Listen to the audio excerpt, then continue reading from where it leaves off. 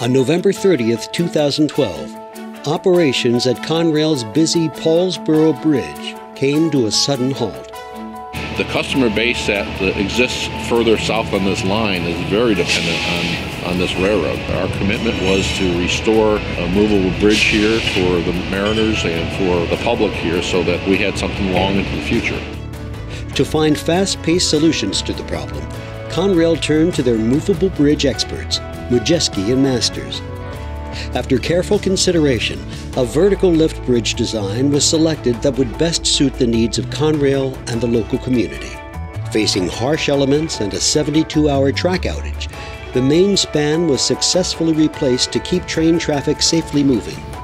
After construction of the remaining movable bridge superstructure was completed, the new fully operational lift bridge gives peace of mind back to Conrail and the community. The experience has been really good, and uh, you know we, we uh, look forward to working with M&M and other projects.